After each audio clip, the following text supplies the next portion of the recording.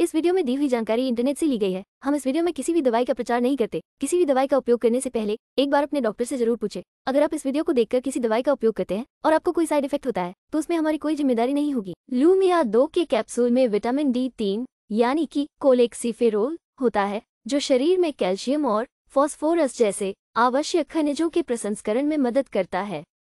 Cholecalciferol vitamin D तीन का एक एनालॉग है। जो सूरज की रोशनी के अपर्याप्त संपर्क के कारण होने वाली विटामिन डी तीन की कमी को प्रबंधित करने में मदद करता है। विटामिन डी तीन हड्डियों के बेहतर स्वास्थ्य के लिए कैल्शियम अवशोषण को बढ़ाने में मदद करता है। विटामिन डी तीन एक आवश्यक पोषक तत्व है, जो हड्डियों और दांतों को स्वस्थ बनाए रखने के साथ साथ प्रतिरक्षा प्रणाली के समुचित कार्य के लिए शरीर के लिए आवश्यक है। चलिए जानते हैं इसके कुछ फायदों के बारे में। एक, स्वस्थ हड्डियों और दांतों को बढ़ावा देता है।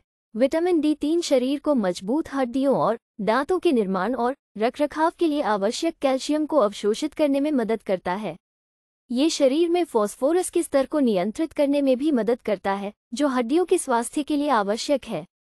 दो, प्रतिरक्षा प्रणाली को बढ़ावा देता है। विटामिन डी तीन प्रतिरक्षा प्रणाली को विनियमित करने में मदद करता है।